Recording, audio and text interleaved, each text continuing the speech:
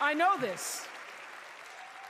I've lived in Mississippi, in Tennessee, in Wisconsin, Maryland, Indiana, Florida, Hawaii, Colorado, California, and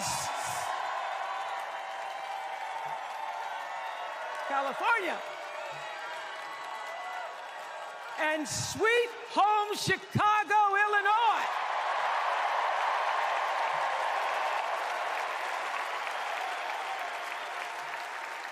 I have actually traveled this country from the redwood forest, love those redwoods, to the Gulf Stream waters.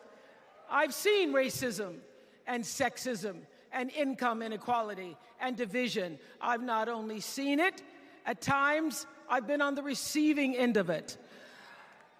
You sure about that?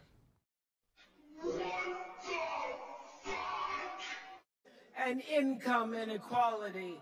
At times I've been on the receiving end of it. Go fuck yourself.